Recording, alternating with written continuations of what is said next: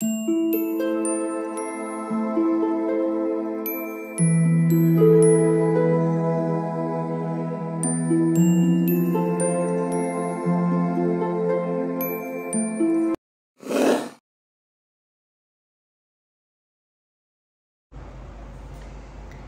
all of you welcome back to my channel मैं आज आप लोगों के लिए लेकर आ चुकी हूँ एक कलेक्टिव रीडिंग जिसका टॉपिक रहने वाला है।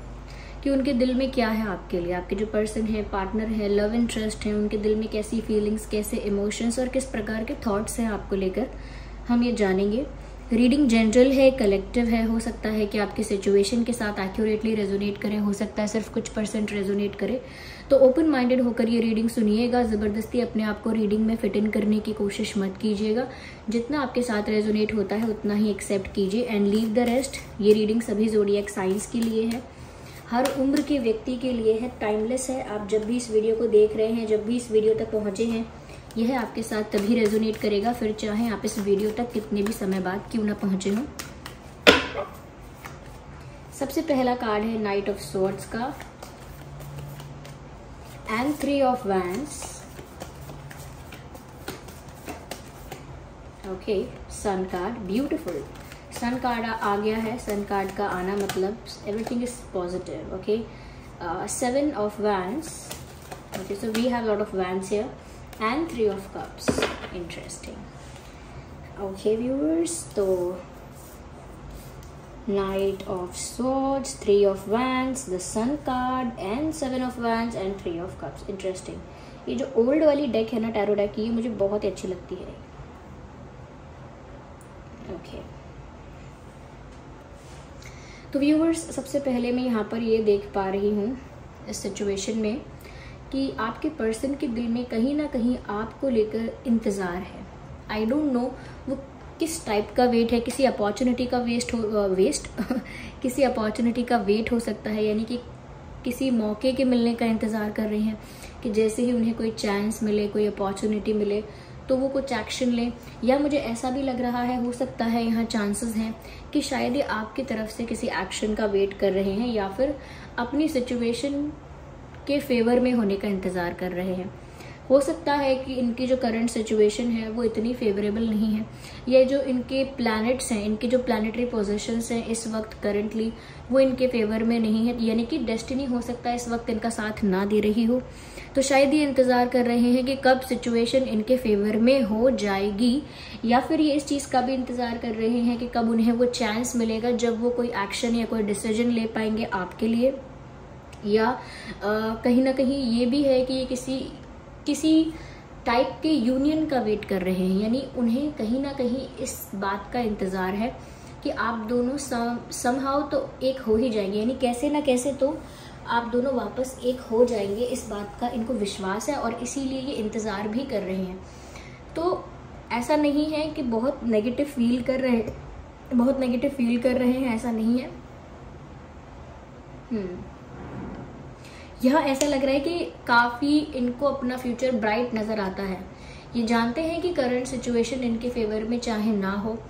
करंटली चीज़ें इनको फेवर ना कर रही हों, लेकिन फिर भी ऐसा लगता है कि ये जो इंसान है, ये पॉजिटिव बहुत ज़्यादा है। पॉजिटिव है ऑप्टिमिस्टिक है विजनरी है, यानी आगे के बारे में अच्छा सोच रहे हैं ये। इनके दिल में भविष्य को लेकर काफ़ी विश्वास है कि भविष्य जो होगा वो आपके साथ ही उनका होगा, यानी उनका फ्यूचर जो है वो आपके साथ ही है। वो भविष्य में आपके साथ ज़रूर एक हो जाएँगे और आप दोनों ही या ये रिलेशनशिप में आप दोनों ही बहुत खुश होंगे। तो उनको ऐसा लगता है, आज नहीं है तो क्या है, कल हम लोग बहुत खुश होने वाले हैं क्योंकि आगे बहुत ब्राइट फ्यूचर है हम दोनों के लिए। बहुत ज़्यादा स्कोप है, बहुत ज़्यादा, बहुत सारी खुशियाँ और सेटिस्फैक्शन हमको ज़रूर मिलेगा। तो ये उम्मीद भी है ये विश्वास भी है और इसी विश्वास की वजह से कहीं ना कहीं ये इंतज़ार कर रहे हैं। क्योंकि जो इनके दिल में निकल कर आया है इनके दिल में किस टाइप के इमोशंस हैं किस टाइप की फीलिंग्स हैं वो वेटिंग निकल कर आया है कि पेशेंस रख रहा है कोई जैसे। कोई जैसे पेशेंस रख रहा है किसी बात के लिए बहुत दिनों से। कोई जैसे इंतज़ार कर रहा है किसी इंसिडेंट के होने का किसी चीज़ के होने का आ, और कहीं ना कहीं कंप्लीशन का वेट कर रहे हैं। क्योंकि ये जो थ्री ऑफ़ वैंस का जो कार्ड है ना व्यूवर्स यहाँ पर एक वैन की कमी है। अगर वो और होता तो ये फोर ऑफ़ वैंस होता और ये यूनियन होता। कि यूनियन हो जाएगा या एक साथ आप लोग हो जाएँगे, लेकिन कहीं ना कहीं यहाँ एक वैंड की कमी है। फोर ऑफ़ वैंड्स होने में एक वैंड की कमी है और कहीं ना कहीं थ्री वैंड्स की वजह से ही ये इंसान अकेला यहाँ पर खड़ा हुआ है और फोर्थ वैंड के कंप्लीट होने का वेट कर रहा है। अगेन देर इज़ वेटिंग तो मुझे लगता है कि यूनियन का भी इंतज़ार कर रहे हैं। शायद आप लोगों को अलग हुए या आप लोगों की बात नहीं हुई, उस चीज़ को बहुत दिन बीत गए हैं, बहुत समय बीतता जा रहा है और उनको ऐसा लगता जा रहा है कि हमारा यूनियन कब होगा। पेशेंस भी रखे हुए हैं, लेकिन इंतज़ार में है कि कब होगा, आखिर कब वो चांस मुझे मिलेगा या आप कोई एक्शन लोगे, व्यूअर्स, आप अपनी तरफ़ से कुछ ऐसा जेस्चर करोगे या कोई ऐसा एक्शन लोगे जिस वजह से यूनियन की एटलीस्ट शुरुआत होगी, या फिर उनकी सिचुएशन कब इतनी फेवरेबल होगी कि वो फ्रीली कुछ कर पाएँगे। तो एक इंतज़ार तो यहाँ दिख रहा है व्यूअर्स चीज़ों के होने का, यूनियन का, आपकी, उनकी लाइफ में आने का, एक राइट चांस मिलने का, एक एक सही अपॉर्चुनिटी मिलने का ओके सही वक्त आने का। ऐस, इस, ऐसे सब चीज़ों का ऐसा लग रहा है, इन्हें इंतज़ार है। साथ ही साथ ऐसा लग रहा है व्यूवर्स कि चाहे इनको भविष्य के लिए बहुत ऑप्टिमिस्टिक थॉट्स हैं, यानी भविष्य के लिए चाहे ये कितना भी पॉजिटिव सोच रहे हैं, आने वाले फ्यूचर के लिए कितना भी फेथ है, इनको कितना भी कॉन्फिडेंस है चाहे, लेकिन करंटली ऐसा लगता है समवेयर ये इनकम्प्लीट भी फील करते हैं। इनकी लाइफ जैसी भी चल रही है, बहुत बुरी नहीं चल रही है, लेकिन उस लाइफ में कहीं ना कहीं एक एक्स फैक्टर जैसे कहते हैं, एक एक इंटरेस्ट की कमी है। यानी कि उनकी लाइफ ना बहुत ही कलरलेस बहुत ही बोरिंग बहुत ही यू नो प्लेन और बहुत यू नो और क्या क्या, और क्या क्या बोल सकते हैं। उनकी लाइफ बहुत ही ज़्यादा डल हो चुकी है। और उनको ऐसा लग रहा है कि उस लाइफ में, उनकी इस ज़िंदगी में कहीं ना कहीं आपके आपके होने की कमी है, आपकी एब्सेंस की वजह से व्यूवर्स कहीं ना कहीं इनको बहुत इनकम्प्लीट लगता है। ऐसा लगता है सब कुछ है, लेकिन कुछ तो कमी है। सब कुछ है, लेकिन फिर भी कुछ तो ऐसा लग रहा है जो मिसिंग है। तो व्यूवर्स वो आपकी प्रेजेंस को इस तरह ही मिस करते हैं। इस तरह ही, इस तरह ही उन्हें आपकी कमी खल रही है कि ये इंसान सब कुछ होने के बाद friends family and other things also सब कुछ होने के बाद भी ऐसा फील करते हैं। कि कुछ तो कमी है। देर इज़ समथिंग मिसिंग कुछ ऐसा है जो होना चाहिए था, पर है नहीं। तो कहीं ना कहीं वो कमी आपकी है जो इनको चुभ रही है, खल रही है, और जिस वजह से ये ऐसा फील कर रहे हैं कि जैसे इनकी लाइफ सही ट्रैक पर चलने के बाद भी इनकम्प्लीट है। मैंने सब सही सब सही चीज़ें कर रहा हूँ, करती हूँ, पूरे दिन में सब कुछ ठीक से करता हूँ, करती हूँ, लेकिन फिर भी एक अधूरापन सा मुझे क्यों लगता है? तो वो अधूरापन बाहर से नहीं, अंदर से उन्हें महसूस हो रहा है। कोई और इन्हें अधूरा या इनकम्प्लीट फील नहीं करवा रहा है। ये सच में कोई ऐसा सामान या कोई ऐसी बात नहीं है जो उनकी लाइफ में मिसिंग है। वो सिर्फ़ आपकी प्रेजेंस है जिसको वो मिस कर रहे हैं और कहीं ना कहीं समझ नहीं पा रहे हैं कि इट इज़ यू और हो सकता है समझ भी पा रहे हैं और उसका चुपचाप पेशेंटली वेट कर रहे हैं। दैट कुड बी पॉसिबल तो इनके दिल में तो व्यूअर्स इंतज़ार भरा हुआ है, ऐसा लगता है। साथ ही साथ भविष्य को लेकर इनके अंदर बहुत उम्मीदें हैं। इनको लगता है there is a happy future उनको लगता है कि भविष्य में आगे जाकर आप लोग बहुत इन्जॉय करने वाले हैं। एक ब्राइट फ्यूचर होगा फ्यूचर होगा। एक ब्राइट फ्यूचर होगा हैप्पी लाइफ होगी okay you will be together आप दोनों साथ में होंगे। आप लोग इन्जॉय करेंगे अपनी लाइफ को सेलिब्रेट करेंगे। हो सकता है आगे जाकर uh, कुछ सीरियस और कुछ ऑफिशियल भी आप लोगों के बीच होगा। तो वो ऐसे ऐसे या तो ऐसा कह सकते हैं कि वो ऐसा विजुअलाइज कर रहे हैं या ऐसा फेथ रख रहे हैं। ये ऐसी बात मान के चल रहे हैं ऐसा बिलीव है उनका ऐसा होगा ये दे बिलीव दैट तो कहीं ना कहीं उनको लगता है कि भविष्य में सेलिब्रेशन ही सेलिब्रेशन हैं खुशियाँ ही खुशियाँ हैं आपके साथ और एक हैप्पी ब्राइट सेटिस्फैक्ट्री फ्यूचर है। तो ये उनका फेथ है व्यूवर्स कहीं ना कहीं मुझे ऐसा लगता है करंटली ये चीज़ें हैं कि वो ये भी सोचते हैं ये बात हो सकती है इसके चांसेस हो सकते हैं कि इनके दिल में। ये बात है कि व्यूअर्स आप थोड़े से डिफेंसिव हो। आई I मीन mean, कि आप ना इनको पसंद तो करते हो चाहते तो हो लेकिन कहीं ना कहीं थोड़ी सी सेंस ऑफ़ सिक्योरिटी फील नहीं होती। आप मतलब ओके uh, okay, uh, वो वो सिक्योर फील नहीं कर पा रहे हो आप उतना ज़्यादा। आपको ट्रस्ट करने में डर लग रहा है आगे बढ़ने में डर लग रहा है इनकी तरफ़ स्टेप लेने में डर लग रहा है इनकी बात का विश्वास करने में डर लग रहा है या फिर आप इनके लिए कोई जेस्टर करें उसमें भी आपको रिस्क लग रहा है कि आप ऐसा ना हो कि आप करते चले जाएँ और वो व्यर्थ हो जाए सब। तो कहीं ना कहीं व्यूअर्स आप ना बहुत मैं कहूँगी कि सेंस ऑफ़ सिक्योरिटी नहीं है या कह सकते हैं कि बहुत डाउटफुल हो रहे हैं आप बहुत सारी बातों को लेकर। जिस वजह से जिस वजह से हो सकता है येस यू आर डिफेंसिव आपने ना अपना एक डिफेंस मैकेनिज्म एक्टिवेट कर लिया है कि मैं ना एक लिमिट तक इस इंसान के लिए कुछ करूँगा या करूँगी या एक लिमिट तक आ, इनको अपना प्यार दिखाऊँगा या दिखाऊँगी और वो लिमिट आपने या वो लिमिट या वो बाउंड्री आपने सेट कर ली है।